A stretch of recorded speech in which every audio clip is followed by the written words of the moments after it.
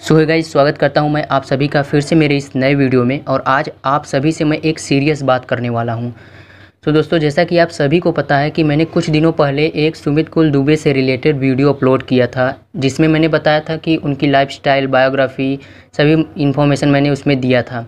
But actually में आज के दिनों में मैंने वो वीडियो डिलीट कर दिया है, क्योंकि उसमें जितना मैंने आपको बताया था, जितना भी इन्फॉर्मेशन मैंने उस वीडियो में बताया था वह बिल्कुल गलत है रियल नहीं है।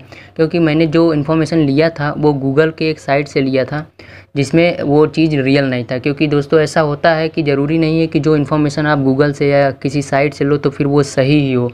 तो मेरी जब सुमित भैया से बात हुई तो फिर उन्होंने बोला, ये गलत है, ये रियल नहीं है। तो फिर मैंने वो वीडियो डिलीट कर दिया।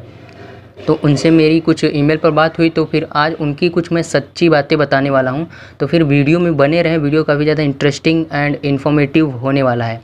तो उनसे मुझे तीन बातें पता चली कि सबसे पहले कि उनके जो पिताजी हैं, वो प्रॉपर्टी डीलर हैं और उनका जो बर्थ प्लेस है, वो यूपी के इलाहाबाद में हुआ है।